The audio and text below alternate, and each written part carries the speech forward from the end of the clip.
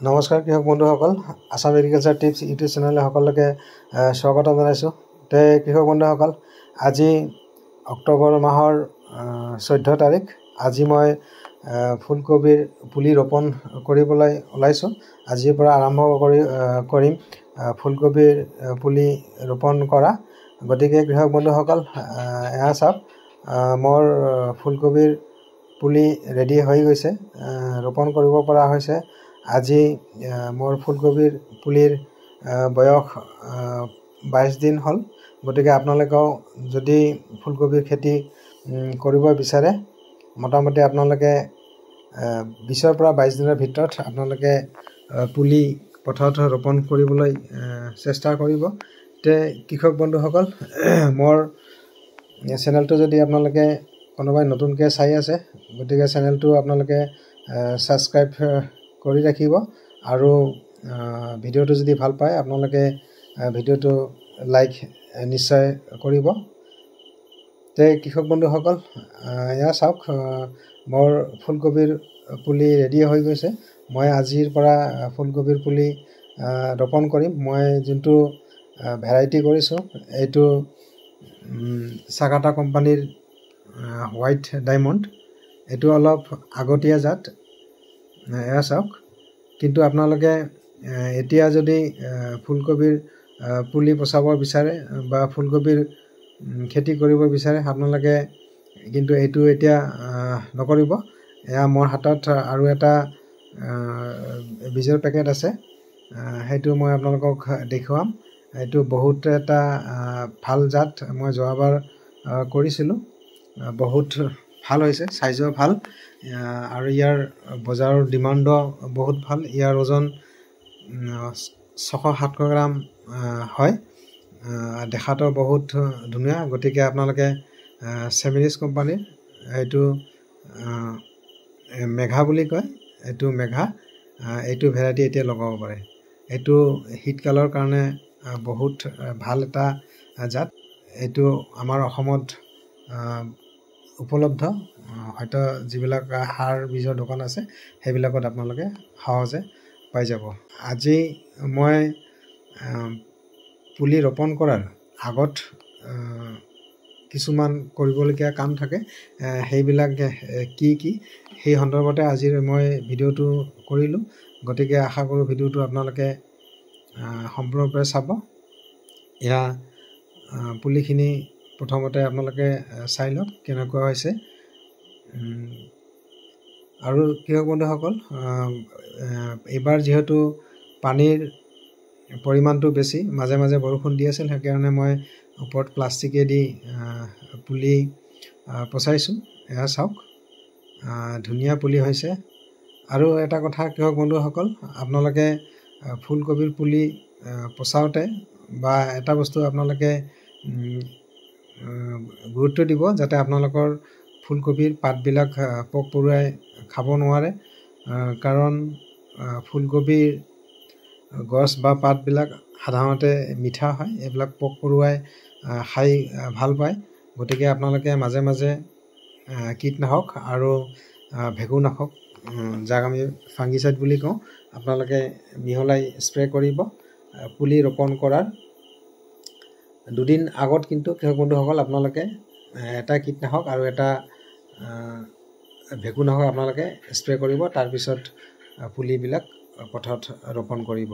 আৰু যেতিয়াই গজালি মেলে তাৰ দুই চাৰিদিন পিছৰ পৰাই আপোনালোকে মাজে মাজে কীটনাশক আৰু ভেকুৰনাশক স্প্ৰে' কৰি থাকিব। তেতিয়া দেখিব যে আপোনাৰ কবিৰ পুলিবিলাক সুস্থ সবল থাকিব আৰু পোক পৰুৱাৰ আক্ৰমণৰ পৰা হাত সাৰি থাকিব।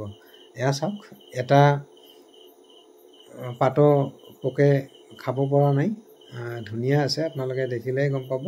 কৃষক বন্ধুসকল মই এতিয়া ইয়াৰ পৰা পুলি উঠাম আৰু পথাৰত ৰুম। গতিকে আপোনালোকক গোটেই ভিডিঅ'টো চোৱাৰ কাৰণে অনুৰোধ থাকিল।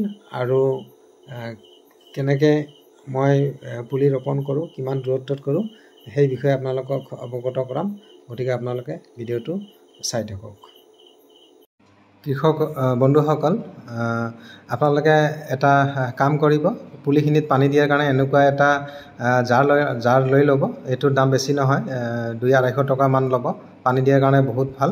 আৰু যেতিয়া পানীখিনি পুলিখিনি আপোনালোকে উঠাব ৰোপণ কৰাৰ কাৰণে তাৰ আগতে এনেকুৱা এটা জাৰ দি পানী দিব এইটো দি পানী দিয়াত বহুত সুবিধা। পানীখিনি সমানভাৱে পৰে। হাতেদি পানী দিব গ'লে হয়তো আপোনালোকৰ বেয়া হ'ব পাৰে ক'ৰবাত বেছি পৰিব ক'ৰবাত কম পৰিব।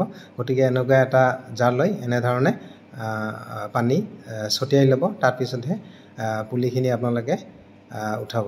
দেখিছে ইমান ধুনীয়াকৈ পানীখিনি পৰে সেই জাৰ দি পানী দিলে গতিকে আপোনালোকে এনেকুৱা এটা জাৰ কিন্তু নিশ্চয় লৈ ল'ব।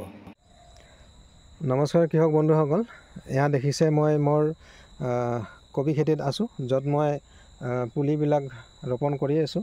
ইয়াতে মই যিমানখিনি মাটি আছে ইয়াতে এহেজাৰ পুলি ৰোপণ কৰিব পাৰি। মই সেইটো হিচাপ কৰিছোঁ। গতিকে মই ইয়াতে এহেজাৰ পুলি ৰোপণ কৰিম। কিছুমান প্ৰাথমিক কথা কোৱাৰ কাৰণে বা কিছুমান তথ্য দিয়াৰ কাৰণে একচুৱেলি মই ভিডিঅ'টো কৰিলোঁ। আপোনালোকে কবি পুলি বা য'ত কবি পুলি ৰোপণ কৰিব য'ত খেতি কৰিব সেই মাটিখিনি আপোনালোকে কেনেধৰণে কেনেধৰণে তৈয়াৰ কৰিব আৰু কি কি সাৰ প্ৰয়োগ কৰিব সেই সন্দৰ্ভত মই দুই দুই এটা কথা আপোনালোকক জনাম। তে প্ৰথম কথা কৃষক বন্ধুসকল আপোনালোকে কবি খেতি কৰিবলৈ হ'লে সেই মাটিখিনিত বা আপোনালোকে বিঘা প্ৰতি দুই ট্ৰেক্টৰ পুৰণা গোবৰ সাৰ আপোনালোকে ব্যৱহাৰ কৰিবই লাগিব। আপোনালোকে যদি বেছিকৈ কৰে আৰু যদি কমকৈ কৰে সেই হিচাপত কৰিব। কিন্তু বিঘা প্ৰতি আপোনালোকে দুই ট্ৰেক্টৰ পুৰণা গোবৰ সাৰ ব্যৱহাৰ কৰিব আৰু সেইখিনি মাটিত বিঘা প্ৰতি ছুপাৰ ফচফেট আপোনালোকে চল্লিছ কেজি আৰু যদি ডি এ পি কৰে বা দহ ছাব্বিছ ছাব্বিছ যোনটো N P K N P K যদি কৰে আপোনালোকে বিঘা প্ৰতি বিছ কেজি কৰিব আৰু পটাছ দহ কেজি। সেই সাৰবিলাক ছটিয়াই দি আপোনালোকে ওলট পালট কৰি কেইবাবাৰো আপুনি হাল মাৰিব আৰু মাটিখিনি ভালদৰে শুকুৱাব। আৰু ইয়াৰ লগত কি কৰিব কৃষক বন্ধুসকল আপোনালোকৰ মাইক্ৰ' নিউট্ৰেণ্ট যিবিলাক মাইক্ৰ' নিউট্ৰেণ্ট আছে গতিকে আপোনালোকে বিঘা প্ৰতি দুই কেজি মাইক্ৰ' নিউট্ৰেণ্ট আপোনালোকে ছটিয়াই দিব। বহুত সাৰৰ দোকানত বহুত মাইক্ৰ' নিউট্ৰেণ্ট পোৱা যায়। যোনটো ভাল মাইক্ৰ' নিউট্ৰেণ্ট সেইটো আপোনালোকে বিঘা প্ৰতি দুই কেজি ব্যৱহাৰ কৰিব। আৰু ইয়াৰ লগত লগতে কৃষক বন্ধুসকল বিঘা প্ৰতি এক কেজি বৰণ যোনটো মাটিত দিয়া বা মাটিৰ লগত মিক্স কৰা বৰণ পায় সেইটো আপোনালোকে বিঘা প্ৰতি এক কেজি সেই সাৰবিলাকৰ লগত ছটিয়াই দি আপোনালোকে ওলট পালতকৈ হাল মাৰিব আৰু আপোনালোকে মাটি তৈয়াৰ কৰিব। তে কৃষক বন্ধুসকল মই আগৰ ভিডিঅ' এটাতো কৈছিলোঁ যে আপোনালোকে কবি পুলি ৰোপণ কৰোঁতে এটা শাৰীৰ পৰা আন এটা শাৰীৰ দূৰত্ব আপোনালোকে কিমান ৰাখিব আৰু এটা পুলিৰ দূৰত্ব আন এটা পুলিৰ দূৰত্ব আপোনালোকে কিমান ৰাখিব তে কৃষক বন্ধুসকল মই এটা বস্তু আপোনালোকক দেখুৱাইছোঁ। এই শাৰীবিলাক দেখিছে। শাৰীৰ পৰা শাৰীৰ দূৰত্ব আছে বাইছ ইঞ্চি আৰু পুলিৰ পৰা পুলিৰ দূৰত্ব আছে ওঠৰ ইঞ্চি। গতিকে সেই হিচাপত আপোনালোকে পুলি লগাওক। নিশ্চয় ভাল ফলাফল পাব। আৰু কৃষক বন্ধুসকল আপোনালোকে পুলিৰ পৰা পুলিৰ দূৰত্বটো মেইনটেইন কৰিব। নহ'লে কি হ'ব? এটা গছে আন এটা গছক লাগিলে আপোনালোকৰ সেই গছজোপা ইমান ভাল নহ'ব আৰু ভাল চাইজৰ ফুলকবি আপুনি নাপাব। গতিকে মই কোৱা ধৰণে এটা শাৰীৰ পৰা আন এটা শাৰীৰ দূৰত্ব আপোনালোকে বাইছ ইঞ্চি ৰাখক কমেও আৰু এটা পুলিৰ পৰা আন এটা পুলিৰ দূৰত্ব আপোনালোকে ওঠৰ ইঞ্চি ৰাখিব পাৰে। তাৰমানে কৃষক বন্ধুসকল মই এইখিনিয়ে ক'ব বিচাৰিছোঁ হয়তো ভিডিঅ'ত আপোনালোকে বুজি পাইছে নে পোৱা নাই নাজানো। এই শাৰীবিলাক যে আছে এটা শাৰীৰ পৰা আন এটা শাৰীৰ দূৰত্ব আপোনালোকে বাইছ ইঞ্চি আৰু এটা পুলিৰ পৰা আন এটা পুলিৰ দূৰত্ব। ধৰি লওক এইটো পুলিৰ পৰা এইটো পুলিৰ দূৰত্ব আপোনালোকে ওঠৰ ইঞ্চি ৰাখিব।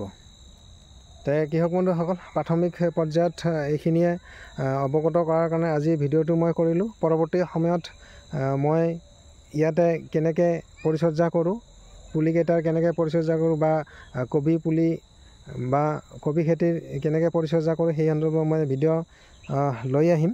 কি কি কীটনাশক ব্যৱহাৰ কৰোঁ কি কি সাৰ ব্যৱহাৰ কৰোঁ কেনেকৈ কৰোঁ বা কি কি ভিটামিন ব্যৱহাৰ কৰোঁ সেই সন্দৰ্ভত মই পৰৱৰ্তী সময়ত ভিডিঅ' আপোনালোকলৈ আগবঢ়াম। তে কৃষক বন্ধুসকল আপোনালোকে যদি মোৰ চেনেলটো এতিয়ালৈকে ছাবস্ক্ৰাইব কৰা নাই আপোনালোকে চেনেলটো ছাবস্ক্ৰাইব কৰি ৰাখিব। মোৰ এনেধৰণৰ ভিডিঅ' চোৱাৰ কাৰণে আৰু ভিডিঅ'বিলাক আপোনালোকে লাইক নিশ্চয় কৰিব। তে কৃষক বন্ধুসকল আজিলৈ কবি খেতিৰ বিষয়ে প্ৰাথমিক তথ্য এইখিনিয়ে। পৰৱৰ্তী সময়ত লগ পোৱাৰ আশাৰে আজিলৈ ভিডিঅ'টো ইমানতে সামৰিছোঁ। ধন্যবাদ।